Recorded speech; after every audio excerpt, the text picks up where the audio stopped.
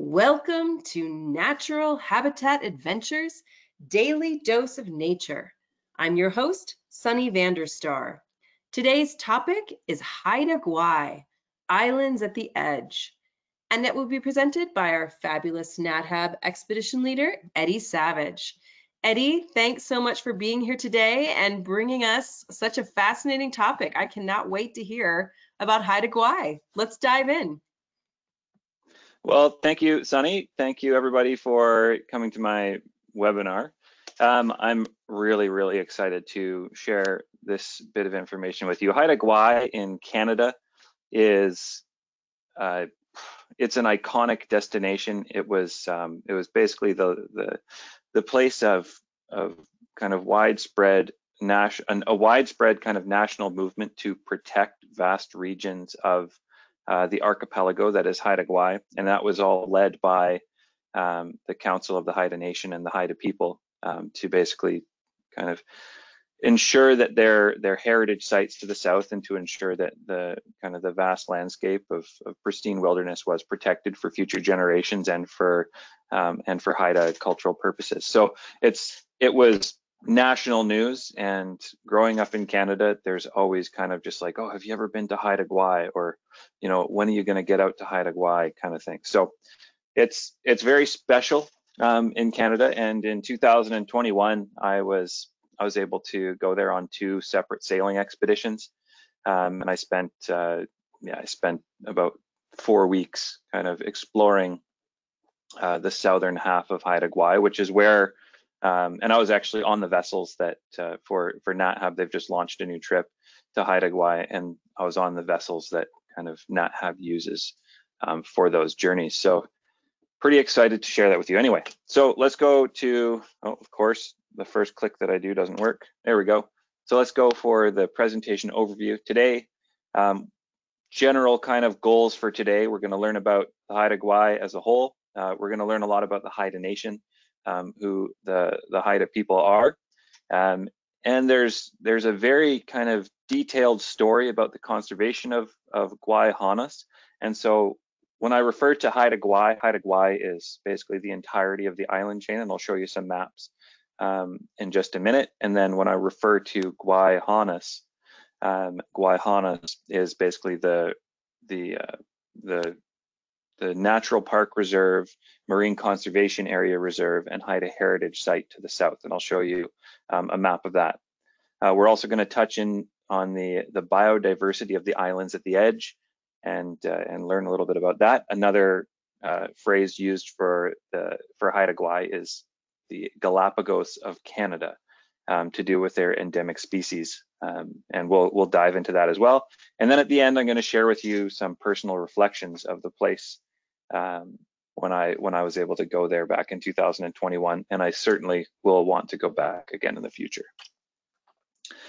Um, I guess you know one thing I'm just going to share with you right off the bat with this picture is there's there's nowhere else in the world where I've felt the colors, just the colors of the landscape, kind of the richness of the forest, the the depth of the color in the ocean, and the and kind of the the openness of the sky in conjunction with um, kind of the the the abundance of wildlife and constant movement of animals and constant movement of tides in nature. It's it's very beautiful. So um, I, have tried to select some of my favorite pictures of the landscape and and, and around, and uh, I hope you enjoy those as well.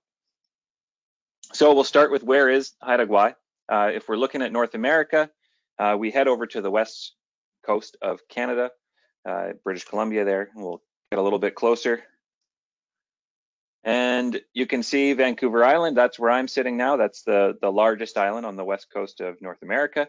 And then up to the northwest is Haida Gwaii. You can see uh, Masset and Daajing Giids there, also formerly known as uh, Queen Charlotte Islands and the and Queen Charlotte City. Uh, it was uh, Daajing Giids, just just renamed recently. Um, and we'll get a little bit closer here. And there we are, Haida Gwaii. So this is the area that we're going to be speaking about today. Um, the closest kind of major city on the mainland of North America is Prince Rupert, and that's across the Dixon Entrance or Hecate Strait, which is uh, also known as kind of one of the most challenging and difficult bodies of water to navigate any, anywhere on Earth. It's kind of it's in the top 10 for being uh, notoriously rough and brutal.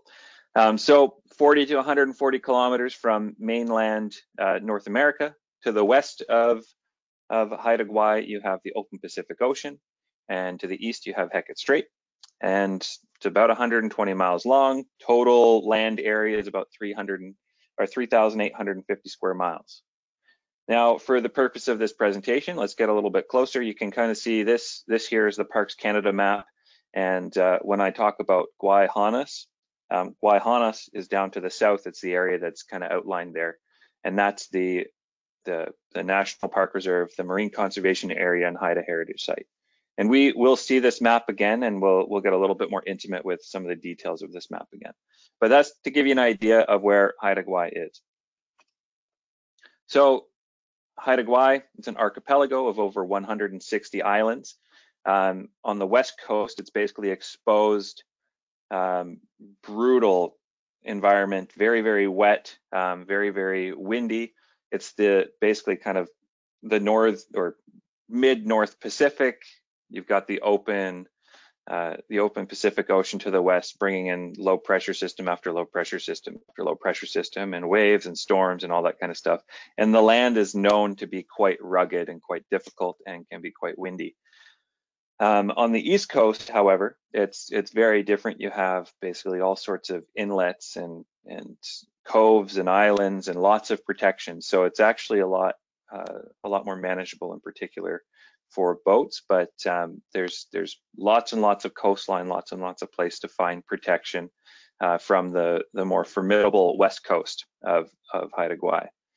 Um, the islands themselves are made up of a variety of things. If you think about the formation of of Haida Gwaii, uh, we're sitting at the edge of the North American plate, and we've got the Pacific plate. The Pacific plate is subducting underneath um, the North American plate and is basically pushing up this ridge of rock has done so for millions of years, and it's created um, the the island chain that is uh, Haida Gwaii.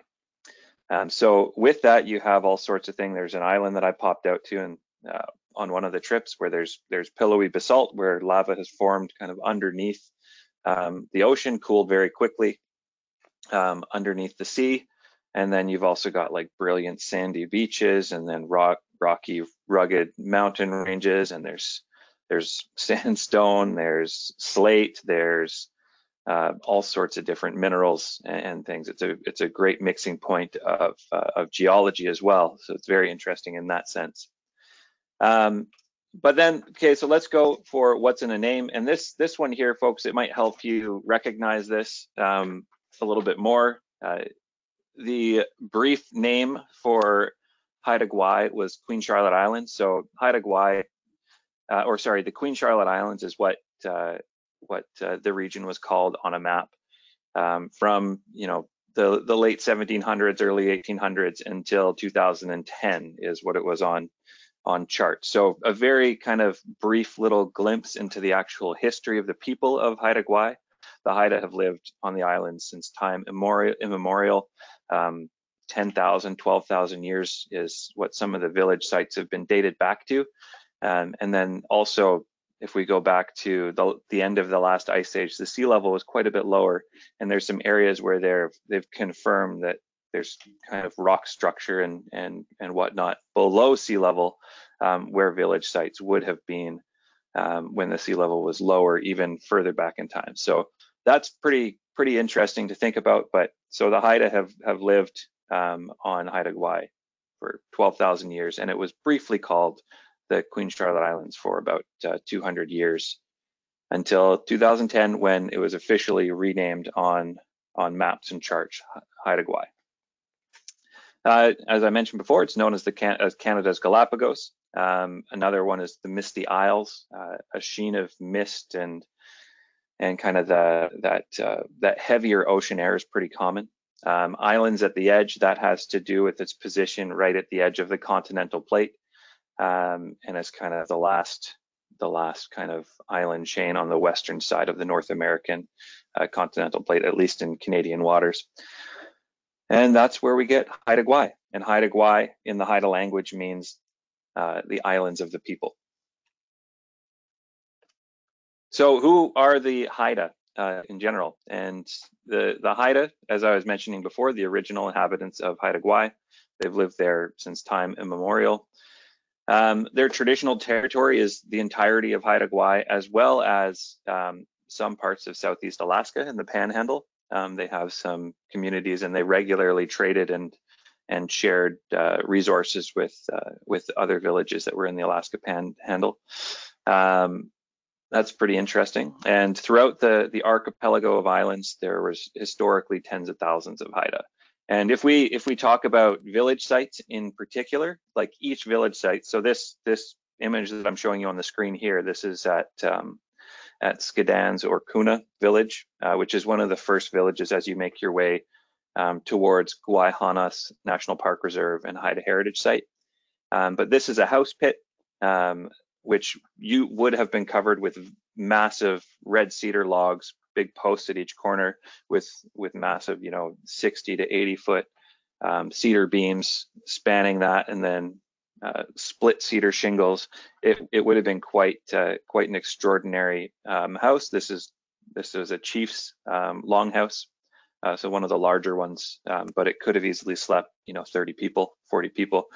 And so each of the the village sites that are within Gwaii Haanas um, could have supported, you know, around 200 to 500 people, um, which is kind of where the idea that there was likely tens of thousands of Haida throughout um, Haida Gwaii. Um, so they're the people that that live there. I'm going to share another slide with you. Um, uh, this is from SGang Gwaay, which is the most southerly village um, in, in Gwaii Haanas and on Haida Gwaii. Um, but there's dozens of villages uh, or village sites throughout uh, the the uh, the islands. Um, during basically European contact was in the late 1700s, but you may have heard this before with with some other um, with other First Nations groups and uh, throughout North America, um, is that European uh, contact or or kind of European diseases rather, um, such as smallpox, typhoid, and measles, um, ran rampant through the region. And it was in the late 1860s, early 1970s when Haida Gwaii um, got hit with smallpox, typhoid, and measles. Um, and what ended up happening is about nine, over 90% of the population perished in a very short period of time. Um, over 90% of the Haida. Uh, so, you know, in a village of 200 people, there might have been 20 people left, um, which is, you know, something to kind of try to put into your put in put into perspective as to why they decided to leave uh, their villages. Um, but essentially, by the the kind of mid 1880s, 18 just after 1880, there was only about 600 Haida left. Um, they abandoned the southern villages and they all decided to go um, into kind of more central uh, villages to the north, where there could be with more people um, access to to better um, care. And then that's also where um, vessels from the mainland would often be coming in and out. So it was kind of a, a move that they made in the in the late 1800s to to do that. Um, yeah, the Haida uh, on the BC coast were also known to be they're they're very well, well respected by other nations along the coast, and in some cases feared. Um, they were regularly trading uh, with the mainland, so being on an island archipelago, you're kind of limited with what resources you do have, um, but you can you can trade goods uh, onto the mainland for different minerals and and supplies and food sources. Uh, one of them being like the eulachon grease or eulachon fish, which is a a very important cultural um, uh, fish product uh, that that was created or that has been important to First Nations in British Columbia for for millennia.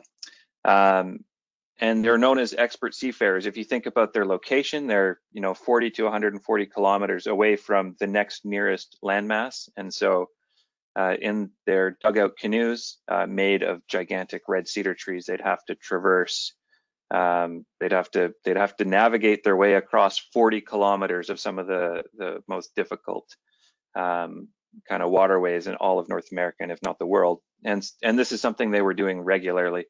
Um, they were going to mainland going to the mainland to for for trading missions, and then they were also um, following down the BC coast and and all the way down to kind of the Puget Sound region, uh, which is somewhere around 800 miles.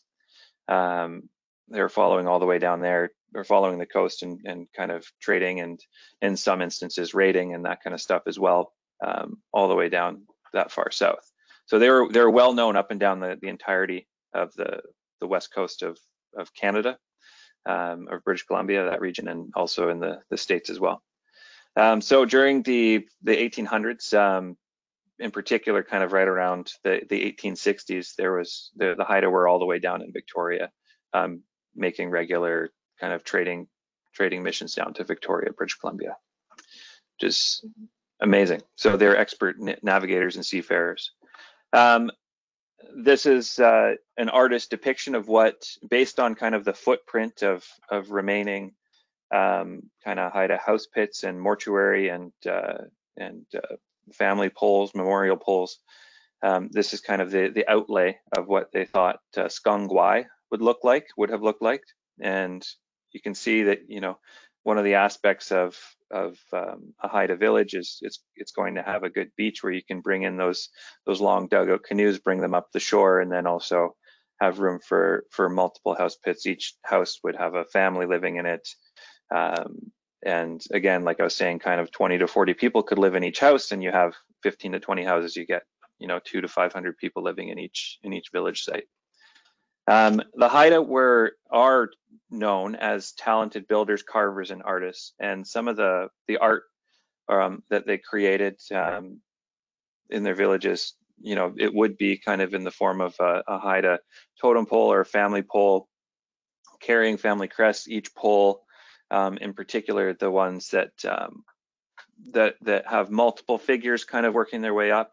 Each pole is it's basically telling a story, um, and there's family crests that belong to each uh, each family, and and basically there's there's certain stories that they're allowed to tell, and these carvings would depict the stories of their family, um, which uh, was extremely important. You can kind of see some of the structure of um, of the longhouses there, just big uh, red cedar, um, split cedar uh, construction, very very very well put together, very strong construction.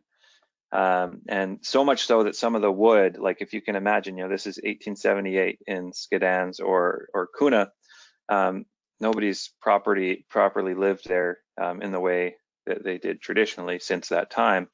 Um, but there's still house beams, the house pit's still there. There's still poles um, that are standing, um, which make these areas kind of the one of the one of the reasons why they're the most extraordinary place on earth to see anything like this. Um, so the Haida are known to be talented builders, carvers, and artists. Um, some of you may have heard of Bill Reid.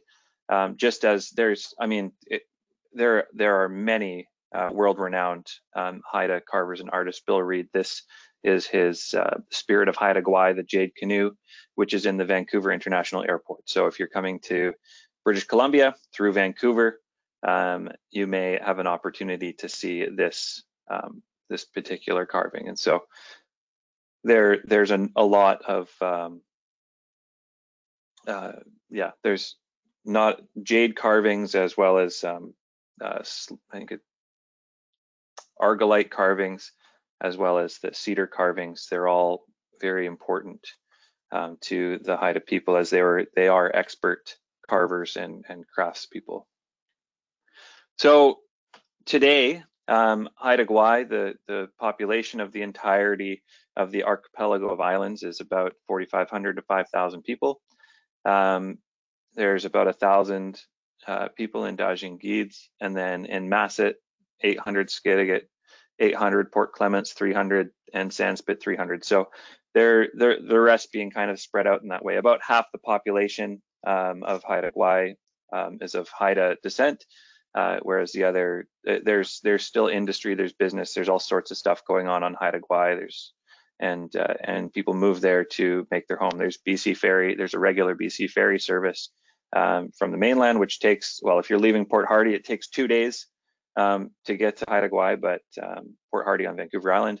But uh, yeah, it's it's a it's a bustling place. It's a it's uh, and there's a lot of people that do make their home, in, but more so um, on the the North Island, which is Graham Island, where where almost all of these uh, communities are, aside from Sandspit. The South Island um, is called Moresby Island, and as we kind of work our way through the presentation a bit more, we're going to talk more about um, the southern portion of Moresby Island, which is where uh, Gwaii Haanas is.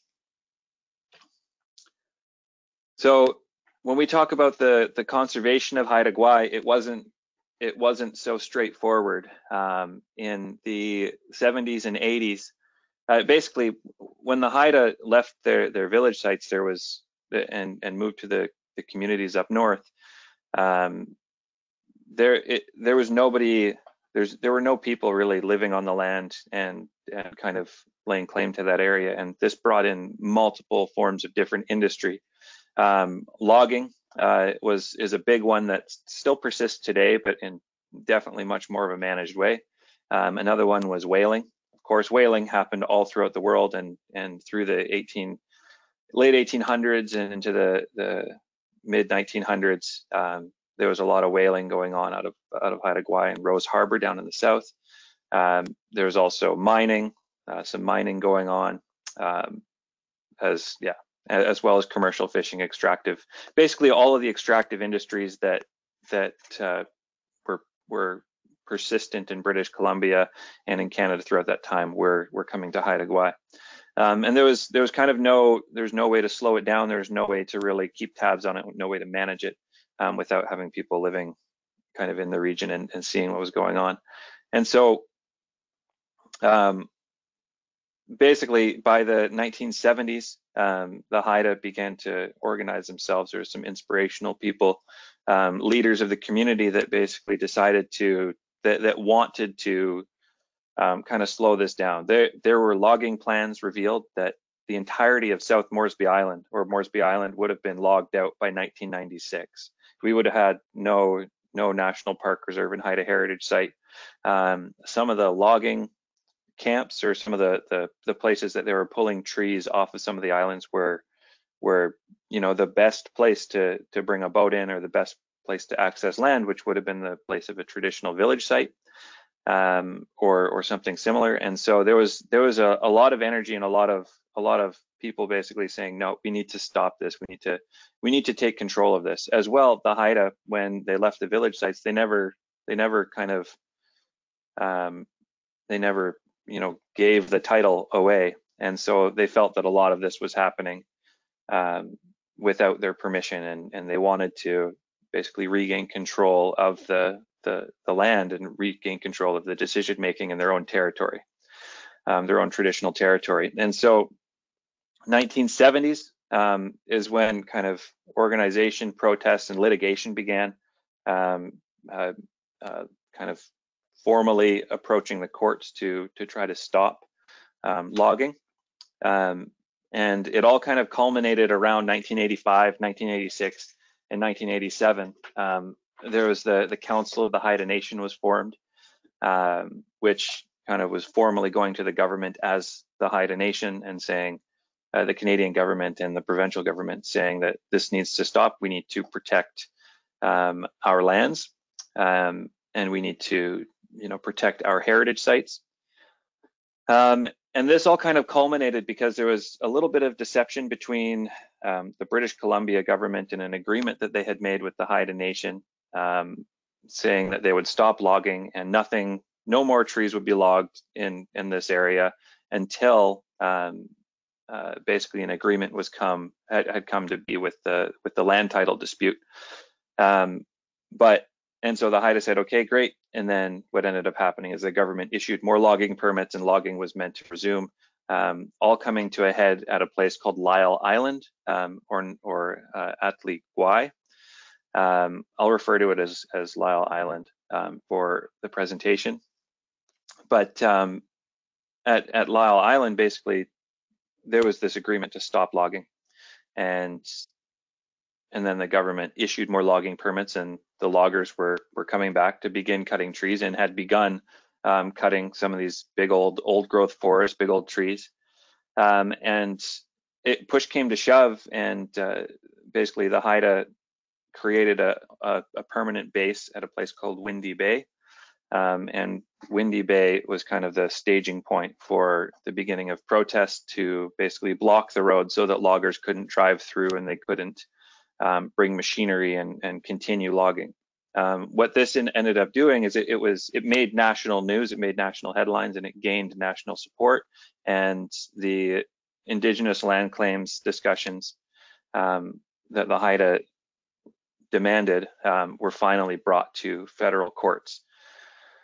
And so it's it's a much more complex situation than what I'm explaining, but um, essentially the the protests led to a, a whole variety of things and, and, ongoing discussions that still 40 years later um, are still um, are still being worked on and still being improved upon. Um, but in 1986, the Haida Nation Council of the Haida Nation declared um, what we know as now as Gwaii Haanas as uh, as a Haida heritage site to protect those culturally important sites. Um, and then after the protests and after about a year of protests and 72 um, uh, Haida were arrested, some of them were charged. I, I do want to mention as well that of the 72, the first to be arrested were, were Haida elders. They're well-respected individuals within the Haida community um, basically had said, you know what, like enough is enough. We need to we need to stop this. And they, you know, these are these are folks that are in their 70s and 80s, and they decided to block be the blockade, and they were arrested and and charged um, with uh, with basically, I think it was an injunction that was filed by the logging company, and they they ended up doing that. So so it was it was quite um, quite empowering and quite uh, motivational to the rest of the Haida people to continue um, this this protest or to to many of the, the, the Haida to continue this protest and, and protect the area. So by 1987, two years on from the protest, the South Moresby Agreement is signed and Gwaii Haanas as a national park reserve. It, they, they basically say that um, the area will not have any further logging and a decision won't be made until the Haida uh, the Haida Nation land title claims are settled. And then after after much more discussion, negotiation, by 1993, the federal government, the provincial government, and the Council of the Haida Nation all came together and they've signed, well, sorry, this is actually an agreement just between the federal and, and, and the Haida. Um, they signed the Gwaii Haanas Agreement, which basically set the framework for what the Gwaii Haanas uh, National Park Reserve, National Marine Conservation Area Reserve, and Haida Heritage Site is today. It was groundbreaking um, because I'll show you a little map here because this area um, was to be co-managed. There's the the it was called the the archipelago. Uh, oh shucks, I forgot the full name of it. The archipelago group um, management group was was basically the the group that was going to be two members from Parks Canada and two members from Haida Gwaii would be appointed to this board and they would make decisions for the park. So it was a co-managed site. So it wasn't just the federal government saying, this is how it's going to be. It's basically both Parks Canada and um, the Haida Nation deciding how this how this land is conserved and protected. Um, so that's pretty exciting, in my opinion. And so here's a, a bit of a closer look. Um, something important is you can see the the symbol in the bottom right corner of the screen. Uh, bottom right corner of the screen, this is the uh, Haida Guardian Watchman symbol.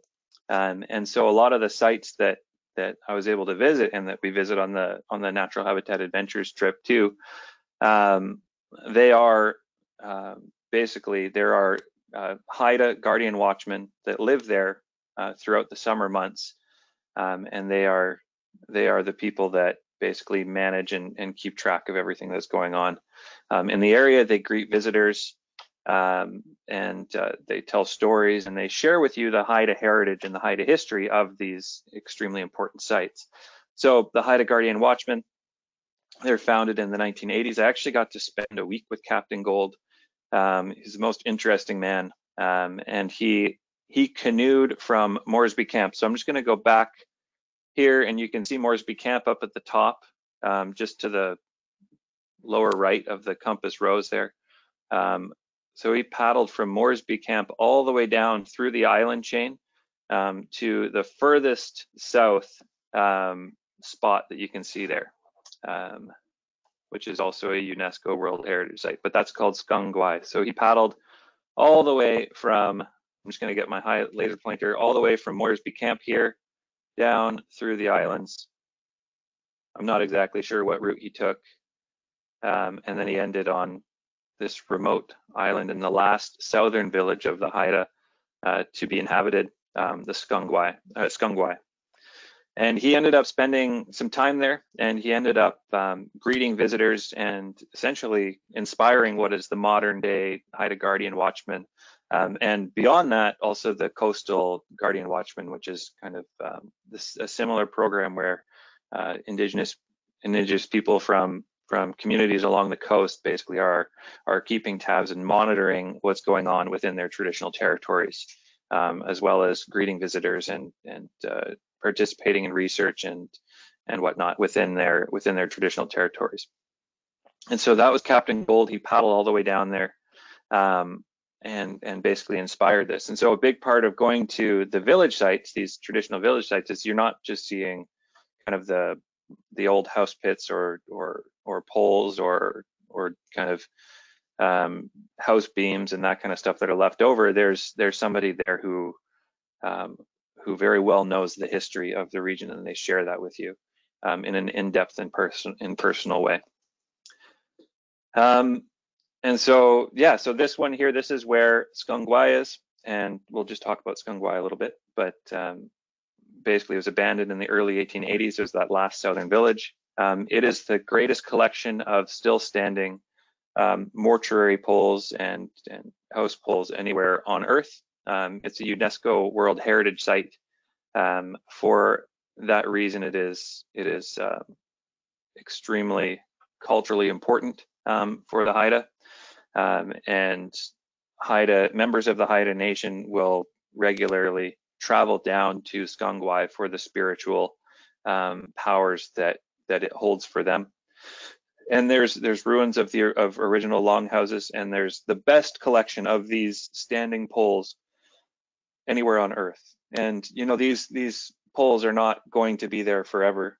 Um, they are being reclaimed slowly, one by one, by nature and by the the power of of the Pacific Northwest. Um, but built of cedar, carved and constructed incredibly strongly. Um, they are they are still standing um, today, and so it's extremely it's an extremely powerful and rewarding experience to get to walk through um, SGang Gwaay. And here's a couple more pictures. This is actually Captain Gold, um, the founder of the Haida Watchman program, standing on the beach at SGang Gwaay, looking up at the site a little bit of a close up. So you can see, you know, the poles are they're they're incredibly beautiful and and you it's kind of like this contrast between like a powerful the powerful Haida art and and the meaning behind the poles as well as um, nature kind of slowly retaking. Uh, you can see with this little Sitka spruce tree growing out of one of them. So that's kind of the the Haida heritage side of my presentation. Um, the next part that I want to talk about is the flora and fauna of the islands at the edge, the, the Misty Isles. So a couple of things you can see, you know, via the arrows on the screen, we've got the arrows coming from the, the bottom left there. They are flying at the west coast of Haida Gwaii. That's where you basically get a lot of kind of upwelling. Um, you can see the terrain of the, the continental shelf there. So Haida Gwaii still on the North American plate, and then it drops right off um, to the Pacific plate there where that's subducting underneath the, the North American plate. Um, and what this does is it upwells a lot of the cooler deep ocean waters, creating a lot of mixing um, around the coast, providing a lot of nutrients. Um, also being an archipelago and having tidal fluctuations in the range of kind of 18 to 25 feet being as far north as it is, every six hours the tide can kind of rise and fall about that far. Um, the the mixing and the oxygenation and the the movement of water provides just the perfect settings for one of the most um, abundant not only intertidal lives but also um, abundant marine life uh, it's uh, yeah, we'll we'll talk about it a little bit more. But Haida Gwaii is is well known to be an important uh, feeding site in the summertime for humpback whales. Um, there's off the off the coast you can get other species of whales as well, but humpback whales, uh, lots of sea lions, and uh, with sea lions and seals, you also get orca. Um, that's just the marine environment, one and a half million breeding seabirds. Anyways, I've got some slides on that stuff. But something else that makes um, Haida Gwaii quite interesting, and this is something that's really been debated for a long time, um, you know, trying to model the the historic ice ages. Um, you know, the, the the Earth has kind of been going through about two and a half million years of these freeze like ice age cycles with um, kind of interglacial periods that last, you know, 20 to 30,000 years, and then a longer ice age from like 80 to 150,000 years, followed by another inter interglacial period of 20 to 30,000 years. And so it's thought that because of Haida Gwaii's position at the edge of the continental plate during the last ice ages or the last several ice ages, um, Haida may have had some um, ice on it, but it also may have been a, a, refuge. So it may have had at least the mountain peaks poking out um, above the ice cap. But also something else interesting is to the, the east of Haida Gwaii, in between kind of Haida Gwaii and mainland North America, the, the basin that is Hecate Strait, and one of the reasons why it is so rough, um, the basin that is Hecate Strait is extremely shallow. And so it's thought that sea levels could have been around 100 feet lower um, or more um, uh, during the last ice age, and it depends on where you are on Earth. During the last ice age and during an ice age, the, the sea level will drop as all the water is kind of brought up into the ice caps themselves. Um, and this would have exposed this kind of vast area in between Haida Gwaii and the mainland mountain ranges of the Coast Range. And so if if Haida Gwaii was in fact covered with, as you can see, it's called the Charlotte's ice cap, but we should, you know, let's call it the Haida Gwaii ice cap. Um, there, there may have been lowlands in between Haida Gwaii and the, the mainland of North America that, that would have then been exposed and then been habitable and could have contained forests and much of much of the, the plant life and that we would expect to see today. Because ice ages don't happen overnight, they happen over thousands of years. So of course plants um, plants and animals and everything can kind of move with the changing environment into different areas, which may be part of the reason why um, uh, uh, Haida Gwaii is known as Canada's Galapagos. Um, so they have an extensive catalog of endemic species, animals that are found nowhere else on Earth. Um, you know, they might look similar or endemic species or subspecies. Uh, one of them here, you can see in this, this picture, um, uh, this is the Haida ermine, uh, so a little a little weasel with a black uh, black tip. Um, this weasel is actually a combination of genes, which is this is kind of uh, a little baffling as well. It's a combination of genes from uh, kind of Europe, um, Europe and Asia, and also North America. And so it's it's kind of somewhere in the middle. You know how it came to be is is a great question. Um, but six of 10 of the native land mammals are endemic. Um, and that includes as well the uh, Haida Gwaii black bear. So the Haida Gwaii black bears, this is, this is an animal that comes down and feeds um, in particular low tide on, you can kind of see the intertidal life that this bear is walking through on on mussels and barnacles and digging for maybe clams. Well, not not so much digging, but mostly the mussels and barnacles, um, and they're crunching those up uh, with their teeth. So anyways, the way that they are different from mainland uh, black bears in North America is they have bigger heads, bigger jaws, bigger, stronger jaws, and they are the largest average body size of any North American black bear. Um, beyond that, there's also exceptional endemism in mosses, flowering plants, beetles, fish, birds, mammals, you name it. Um, and there's nowhere else in Canada that has this many uh, endemic species in one place. So, um, you know, will you, will we see all of those on a trip? That's a great question. Um, you, maybe your ex, if we see a, a Haida Gwaii black bear, that would probably be the most likely.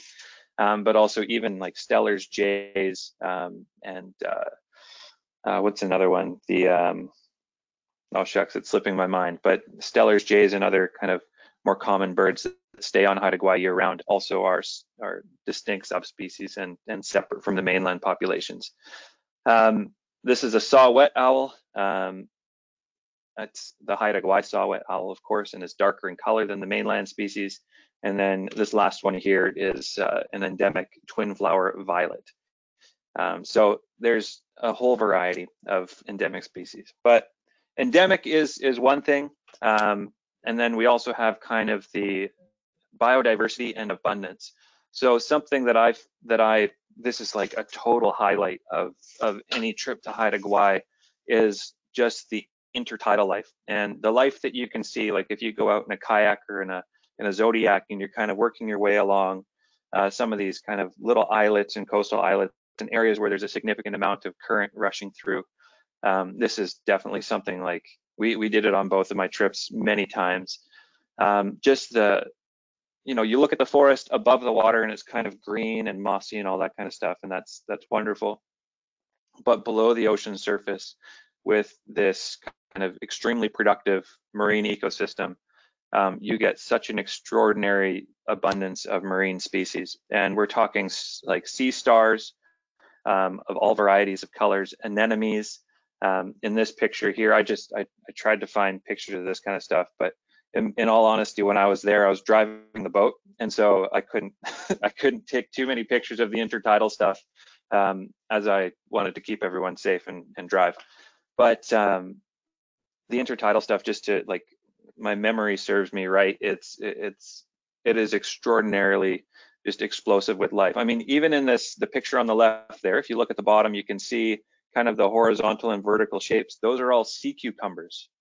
The darker shapes, those are all sea urchins. And this is just, you know, I, have never seen so many sea cucumbers in one spot um, in my entire life. I've seen lots of urchins, but I've never seen so many sea cucumbers that, that were just sitting together in one spot in crystal clear water. It's just like the, the density and the abundance of these animals um, in the intertidal zone is, is really cool. Um, the picture on the right there, those are northern abalone, um, declared endangered because of, uh, of many, many years of overharvesting. Um, but there are definitely stronghold populations throughout the coast of British Columbia, and Haida Gwaii is one of them. Lots and lots of northern abalone up and down. Um, we've got scallops and sea stars and mussels and barnacles and anemones and nudibranchs and like it's just an explosion of color and life um, uh, beneath the surface of the ocean and, and definitely a highlight there. Um, beyond that, in the forest, the terrestrial life, the forests of, of Haida Gwaii are just uh, the forests of, of Gwaii Haanas, the places that we we are able to go off and, and look and kind of these are typically around the Haida heritage sites. They are they are extremely special. The moss is something I remember. Um, really, really just kind of like lush, thick blankets of moss throughout the forest. The trees, this this is a gigantic Sitka spruce tree um, that was in Windy Bay. And you know, you're walking past trees that are like six to 10 feet wide. And then you get to this one and it's like, I can't remember exactly how many people it, it was to put our arms around this, but it's like this this tree, you know, is going to be 250 to 300 feet tall, and the the girth of it, the the the the width is probably somewhere around. I, I would say, let's say the circumference is probably around 60 to 70 feet, something like that. But it's it was just like this gigantic Sitka spruce tree, and this is what um, what when it comes to kind of the forest and that kind of thing. This is what the Haida Nation was wanting to protect uh, from the terrestrial biodiversity was these big, old, beautiful trees um, that have, you know, a tree like this is going to be 800 to 1200 years old. Um, been there a lot longer than any of us. And they, that's what they, they wanted to save and protect. So the terrestrial experience is, is really beautiful. Another really interesting feature of some of the, the, the the stops that we make on land is the potential to see what are called culturally modified trees. And so the, the Haida um, used cedar, um, in particular red cedar. Um, they called it the tree of life. And the red cedar, um, basically you can, uh, the, the Haida were able to, to pull bark off to do all sorts of weaving. Um, they're extraordinarily, uh, the Haida are also renowned as extraordinarily talented weavers, not just of cedar, um, but of lots of other trees as well. But cedar was definitely a, the main one for kind of like the larger clothing pieces and blankets and hats and waterproof material. They could weave it so tight that water would not uh, permeate. Um, so they could pull bark off of the, the cedar trees for that. They could um, harvest live planks of wood from living trees. Um, there's kind of remnants in some areas where they've done a little uh, a sample of the tree because to select a cedar tree for a canoe um, or for or or something like that, you have to basically do a test to see if the grain of the wood is good, to see if it's hollow. If it's hollow, it's no good. Um, that kind of thing. So there's there's like these 200, 300 year old um, uh, kind of remnants of of of the Haida's usage of the forest um, in in many places as well, which is really really fascinating to me. As well, um, I mean, yeah, I was already kind of talking about the biodiversity and the abundance of life and the mixture and what makes kind of this the perfect habitat for all sorts of animals. In this picture, you can see some Steller sea lions that are hauled out on an islet. There's lots of Steller sea lions that were around, but aside from the extraordinary intertidal and marine life, um, it's got over 1.5 million nesting seabirds. Some of the highlights for seabirds um, are definitely uh, rhinoceros auklets. I'll just show you a picture here. Rhinoceros auklet here with uh, some sand lance in its mouth. Um, tufted and horned puffins. Um, ancient murrelets if we're lucky uh, as well. There's potentially like black guillemots, common murres, bald eagles. Um, there's, I mean, we'd be extremely lucky if we got to see one, but there's an endemic species of goshawk, the northern goshawk, um, uh, on Haida Gwaii, as well as uh, I think it's the the Peale's. Oh gosh, what is it? There's a there's a specific raptor as well um, that that's there as well, and maybe some osprey. But the 1.5 million nesting seabirds, um, they're all of the little islets all around are ideal for puffins. And then the rhinoceros auklets are burrowers, um, and they they burrow in some of the some of the sites around, and and that's that's a big part of the um, the, the Haida watchmen as well. Their job is to kind of protect and make sure people don't go wandering off and just go stick their foot through um, a rhinoceros auklet burrow or something along those lines. So um, I I met uh, a long time uh, Gwaii Haanas park ranger who has who spent a lot of his career monitoring and and uh, and kind of keeping tabs on the uh, extremely high seabird population of Haida. As well, 20, spaces, 20 species of cetacean, including humpback whales, minke whales. We've also got sea lions, seals, harbor seals, um, and orcas. There, they are around. Um, it just, you know, you never know what you're going to see when you're out there. A couple more pictures. Some orcas. We were we were sailing um, around uh, up up basically a little inlet, and we we caught uh, caught sight of these three orca. There was more than three orca. There was a pod of um, of Bigg's orca or transient orca, and we followed them for about an hour. And we parted ways after they had arrived at um, at a seal haulout, and they basically disappeared right before the seal haulout, and then all showed up, and like a whole bunch of seals got scared into the water. And we suspect, due to the change of the color of the water, that one of the seals didn't make it out. Um, but you know, the, it's it's an extremely wild place, and and it's it's it's yeah, it's bustling with wildlife everywhere you go. Um, yeah, more pictures. Old growth forest, nice beach, and an old growth forest. I'm just going to share some nice pictures with you from my time there. Some of the intertidal life. Look at those big anemones in this tidal pool. some Steller sea lions curious about what's going on. And just a, a beautiful sunrise uh, at one of our anchorages. And that that brings me kind of to one of my my my favorite parts about exploring Haida Gwaii. You know, Haida Gwaii is uh, it's a national park reserve, Haida heritage site, marine conservation area for all the reasons that I've just discussed. And the only way and the best way to explore um, the only way you can really explore um, Gwaii Haanas and Haida Gwaii is by boat. Um, the North Island, where where the communities are, where the, the towns are, there's there's roads you can travel in between. There's provincial parks. There's um, there's um, there's regional parks, that kind of stuff. Haida heritage sites up there as well. Um, but to get down into kind of this richness, um, you need to go south, and you need to go into Gwaii Haanas National Park Reserve, Marine Conservation Area, and Haida Heritage Site. You need to go down there, and the way to do that is absolutely by expedition boat, expedition sailboat. Um, so the the vessel pictured in these uh, in, in, my shots here, this is the the Island Solitude, um, and the Island Solitude. I I was working as first mate um, on board the Island Solitude for for the summer, and you know the the ability to get into these remote areas and the ability for a vessel like this to just the captain and you know your expedition leader will basically like look at the chart look at the weather look at the day and be like you know what? I think sunset's going to be really really beautiful over in this anchorage.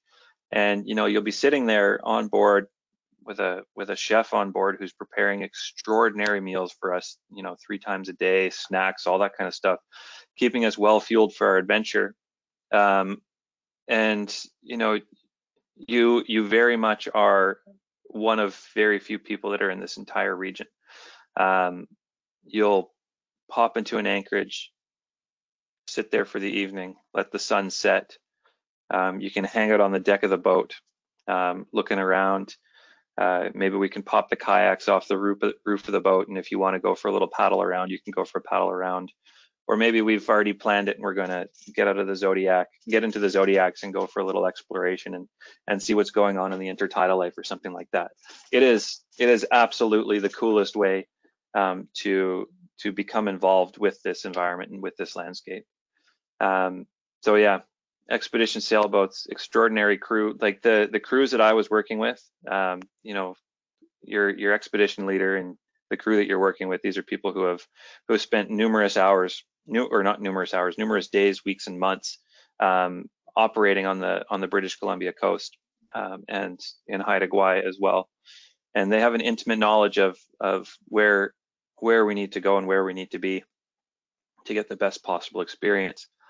Um, and so they can they they they know what what needs to happen. They know where we how how we're going to get the most out of an experience. And um, I would I'd say that having the opportunity to have worked with them um, over the last several years and worked with pretty much all of the captains of these vessels, um, they're some of the most wonderful um, people that that I've ever met, and so they're they're really going to take good care of us and uh, and and work well with your expedition leader to make sure that you're having uh, an extraordinary time. Um, the two vessels that are going to be used uh, for this year, I think they're the Island Solitude and the Island Odyssey and they are both like these these sailboats you know it's not designed for just a few people. They are they are designed as expedition adventure sailboats. And they're they're set up that way so that we can we can basically go and do what we need to do and have the most miraculous experience. It's perfect the perfect platform.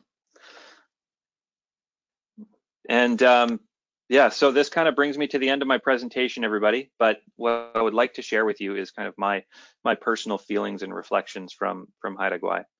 Um, having grown up in Canada, having grown up on Vancouver Island, you know, not too far away from from Haida Gwaii, it was always a place that was kind of uh, revered by by uh, kind of leaders and leaders in my community and role models that I had and you know people in Canada, people in British Columbia, people within the coast, you know, everybody's kind of like, "Oh, have you ever been to Haida Gwaii?" And it's always kind of being this this destination that that is is like out just out of reach. You know, the it takes 2 days to take a ferry to Haida Gwaii and then you need to find your way around um, Haida Gwaii as well. If you take the take your vehicle, you can do that, but you can you're still restricted um, to to the North Island um, and a, just a touch of the South Island.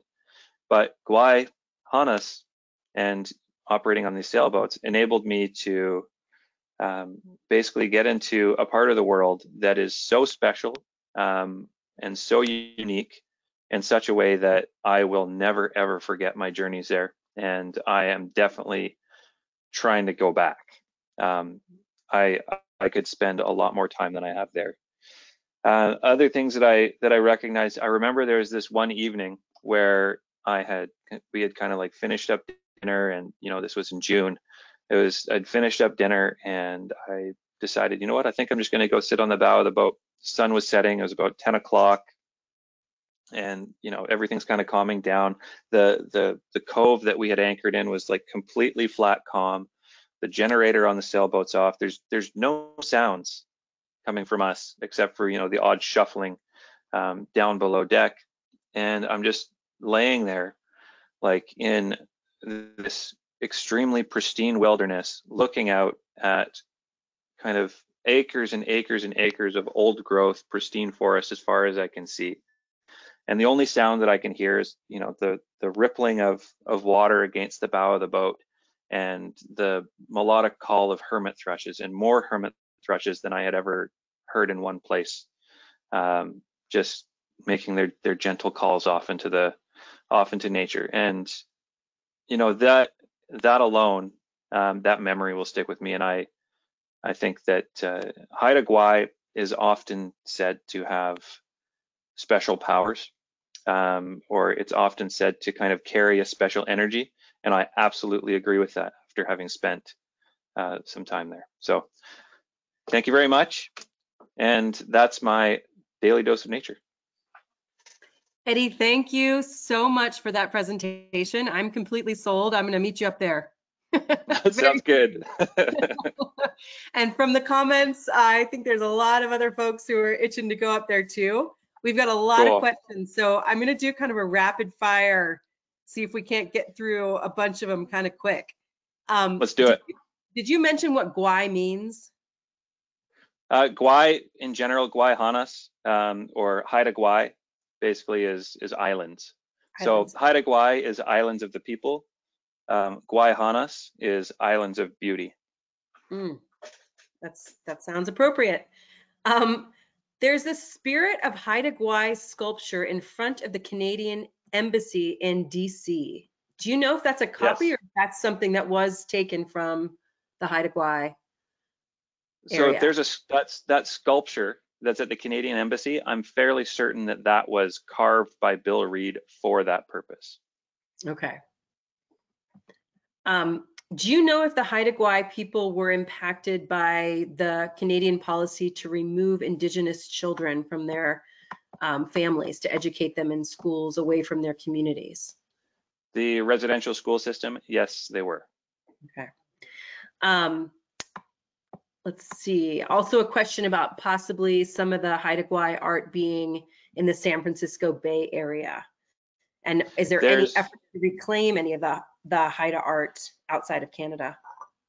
It's a good question. There, there likely is. Um, there's, there's likely Haida art all over the world, and it's one of those things that it takes time to, to bring back. And I'm, I'm positive if it's known about, there's a discussion that's been ongoing about where that, that piece of art needs to be. Hmm. Do you know if um, the Haida it's the Haida view to let the poles naturally decompose, or is there an effort to preserve them?